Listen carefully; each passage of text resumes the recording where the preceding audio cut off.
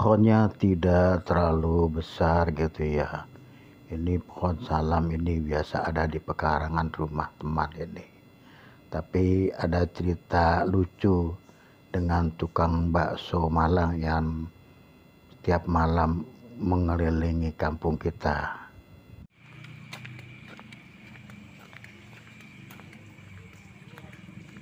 Kang, biasa Kang. Bakso Kang, bakso, bakso. Apa itu Kang? Bakso, Bakso apa? Hah? bakso Malang. Bakso Malang. Kang, kemarin di dalam ada cerita apaan Kang? Ada cerita lagi. Ah, bikin nakut-nakutin aja. Asli. Masli, masli, asli, mas. Jam berapa kamu di belakang? Udah, udah lama sih ceritanya. Iya, jam jam berapa masuknya? Udah Sembilan gini. Saya baru tahu kemarin itu. Ibu-ibu, ah?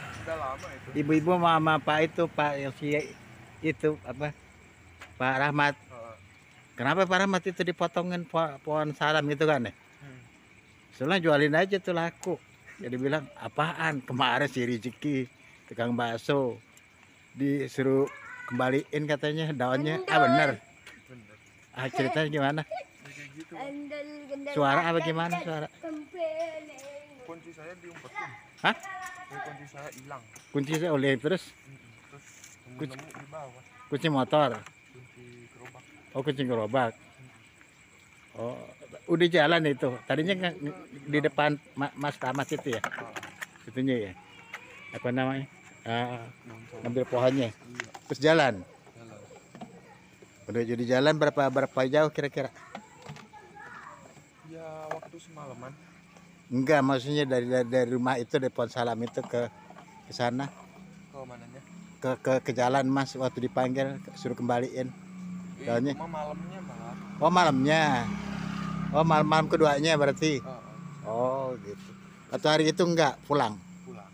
Oh pulang. Oh kira saya waktu hari itu balik. Jadi ngimpi gimana? Hmm,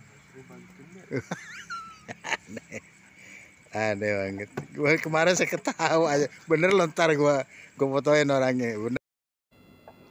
Tukang bakso Malang ini memang sudah langganan warga komplek kita ya. Tiap malam dia selalu datang keliling menawarkan bakso-baksonya gitu ya. Peminatnya pun juga banyak dari kalangan anak-anak muda dan ibu-ibu atau serta bapak-bapak gitu ya. Karena dengan harga yang murah ya lumayan tapi mantap baksonya. Tapi malam itu dia punya punya cerita lucu. Di balik pohon salam yang ada di pekarangan rumah teman itu itu eh, ada kelucuan gitu ya. Kelucuan akhirnya saya mengorek tukang bakso ini sebatas mana dia istilahnya dengan pohon salam itu gitu. Jadi pada waktu malam itu dia biasa uh, menyediakan atau mengolah bakso untuk para langganan ya, terutama mungkin ibu-ibu gitu ya. Nah, terus kemudian dia minta kepada ibu-ibu minta daun salam untuk dibuat nanti buat bikin sayur asam katanya. Tuh.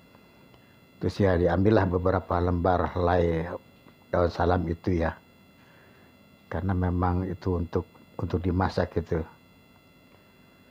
Ternyata cerita itu bukan sampai di situ saja.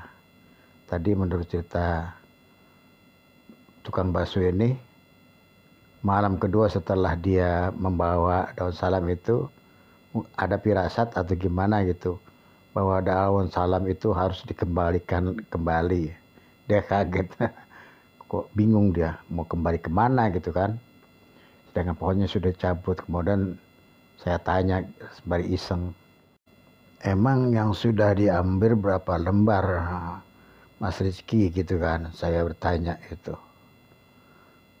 Kata dia itu ya cuman selembar pak kata gitu. Ada beberapa helai daun gitu. Pokok sebatang lah hitungannya gitu Oh gitu. Kemudian saya bilang, saya tuh banyak pohon salam itu. Kecil itu. Pohonnya sih tidak terlalu besar itu. Nah, jadi lucu saya mendengarnya ya. Baru kali ini ada pohon salam, daunnya diambil, kemudian minta dikembalikan lagi. lucu, emang cerita punya cerita ya.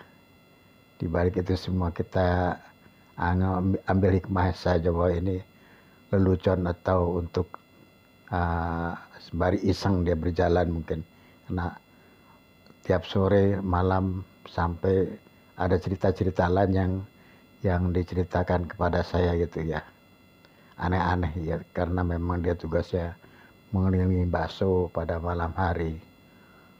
Gitulah mudah-mudahan ini menjadi barokah bagi Mas Rizky tukang bakso Malang. Semoga banyak rezekinya. Amin amin ya robbal alamin. Itulah perjalanan hidup seorang tukang bakso Malang yang setiap malamnya berkeliling melewati kampung demi kampung receh demi receh dikumpulkan untuk melanjutkan hidupnya